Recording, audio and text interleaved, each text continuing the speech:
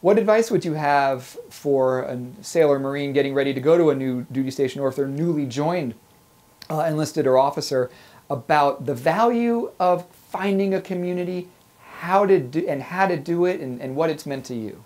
Uh, no, I think this is the most important thing. Uh, of everything that we talk about, I think having uh, some strong relationships that are meaningful, are reliable, um, it's, I think it's the most important thing that we, we can do. Sometimes it's hard to maintain those relationships and hard to start uh, new relationships.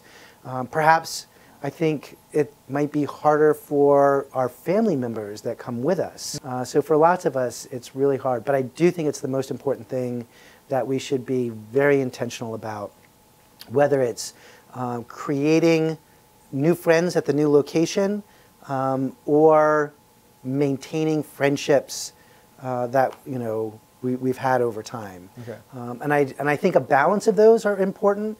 I think whenever we go to a new duty station, we should make new friends at that duty station. Um, but I also think it's important to nurture old uh, relationships.